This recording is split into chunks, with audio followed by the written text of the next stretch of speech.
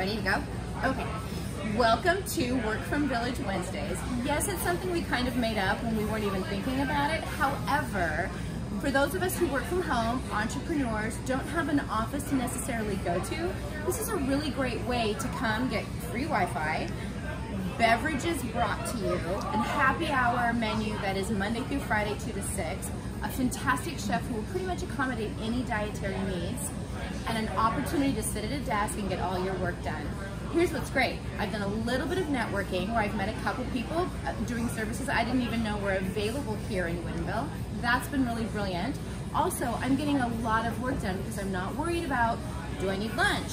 Am I having a snack? Because the team here just brings it right to us. So it's been a really great way for us to get work done, do some light networking, in an environment that really supports. It's not loud in here. It's calm. There's there's like that white noise chatter that kind of happens. So you're getting stuff done but you're not feeling overwhelmed with the environment. So if you are a work from home person an entrepreneur and just want a little change of scenery work from village wednesdays is your way to go